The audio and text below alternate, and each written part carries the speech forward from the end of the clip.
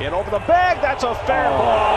And Ramirez breaks up the no-hit bid. He'll try for two. No, he'll slam on the brakes and settle for a single. A late swing hit right over the bag. And after Steven Matz went seven and a third with a no-hitter, Alexei Ramirez breaks it up with one out of the eighth. And here comes Terry. Oh, what a shame. What a shame. What a performance.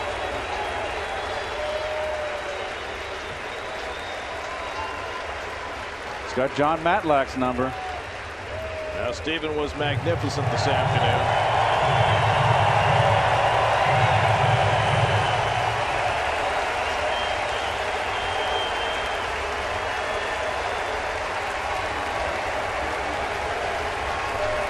The first Met pitcher since Santana to take a no-hit bid into the eighth. Matz falls just five outs short.